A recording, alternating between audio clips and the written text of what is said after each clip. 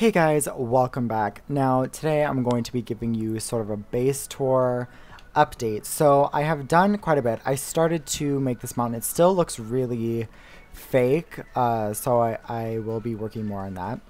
I wanted to show you guys the progress I've made since my last video.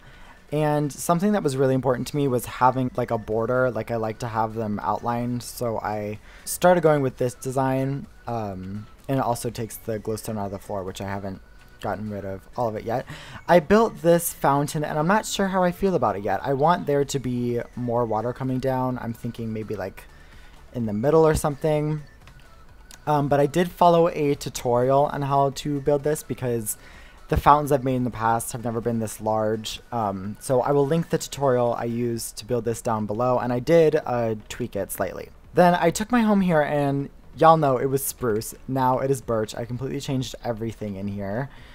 And I built this little fake tree. I'm not sure how I feel about it. It's kind of nice, but I don't really know. I just kind of wanted something in between here, and I am going to be moving my farms to the other side, which I mentioned doing this in my last video. I don't even know how I skipped over this.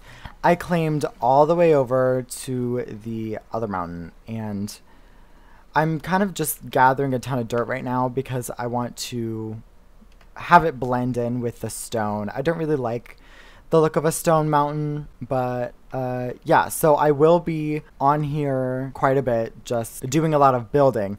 So if you guys want to come on, say hi. I'll probably be on here uh, for a little while at least because I have a lot to figure out and I have a lot of building to do. I want to make this area super beautiful. I don't think I'm going to make it into a town. I know a lot of people like on the server think that this is a town, but these are all my homes.